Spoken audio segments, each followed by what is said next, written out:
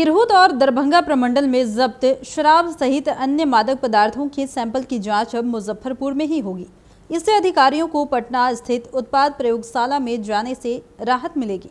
मद्य निषेध उत्पाद एवं निबंधन विभाग ने सूबे के तीन जिलों में लैब उत्पाद प्रयोगशाला खोलने की स्वीकृति दे दी है।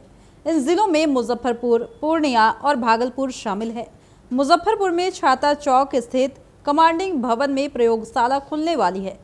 सितंबर से यहाँ पर जाँच भी शुरू हो जाएगी। बता दें कि इसको लेकर संयुक्त आयुक्त मद्य निषेध ने तीनों ज़िले के उत्पाद अधीक्षक को पत्र भी लिखा है।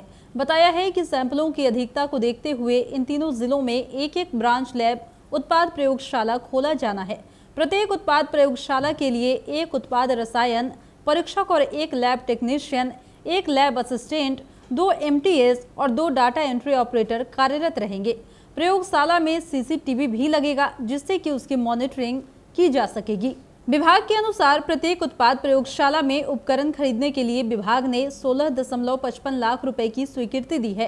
प्रयोगशाला में आए सैंपलों की जाँच के बाद प्रदर्श को उत्पाद रसायन परीक्षक की उपस्थिति में विनिष्ट कर दिया जाएगा। सैंपलों का दुरुपयोग किसी भी परिस्थिति में स्वीकारा नहीं जाएगा। इन जिलों में प्रयोगशाला खोलने पर विभाग के कर्मियों का समय भी बच पाएगा। समय पर सैंपलों की रिपोर्ट मिलने से केस को मजबूती मिलेगी। अभी आयु को जब्त शराब सहित अन्य मादक पदार्थों के जाँच के लिए पटना जाना पड़ता है। मुजफ्फरपुर में हर महीने करीब 500 सैंपल जाँच के लिए भेजे जाते हैं। इनमें कई की रिपोर्ट समय पर नहीं मिल पाती। बता रहे हैं कि अब तक राजधानी पटना के कुमराड़ में पूरे राज्य के सैंपल की जाँच होती थी। सैंपल की अधिकता को देखते हुए मद्य निषेध विभाग ने यह बड़ा फैसला लिया है। एक बार फिर से बता रहे हैं कि तिरहुत और दरभंगा प्रमंडल में जब्त शराब सहित अन्य मादक पदार्थों के सैंपल की जाँच अब मुजफ्फरपुर में ही होगी। इससे अधिकारियों को पटना स्थित उत्पाद प्रयोगशाला में जाने से राहत मिल जाएगी। मद्य निषेध उत्पाद एवं निबंधन विभाग ने सूबे के तीन जिलों में लैब उत्पाद प्रयोगशाला खोलने की स्वीकृति दी है। इन जिलों में मुजफ्फरपुर, पूर्णिया और भागलपुर शामिल है। मुजफ्फरपुर में छाता चौक स्थित कमांडिंग भवन में प्रयोगशाला खुलने वाली है। सितंबर से यहाँ पर जाँच भी शुरू की जाएगी।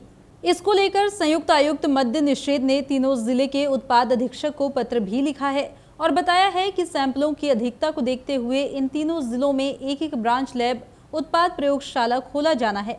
प्रत्येक उत्पाद प्रयोगशाला के लिए एक उत्पाद रसायन परीक्षक, एक लैब टेक्नीशियन, एक लैब असिस्टेंट दो एमटीएस दो डाटा एंट्री ऑपरेटर और साथ ही और भी अन्य लोग कार्यरत होंगे।